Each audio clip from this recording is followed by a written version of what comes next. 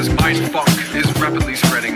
Everyone, excluding my mother-in-law, is requested to proceed immediately to the anti-funk chambers. The mind funk is coming. I repeat, the mind funk is coming.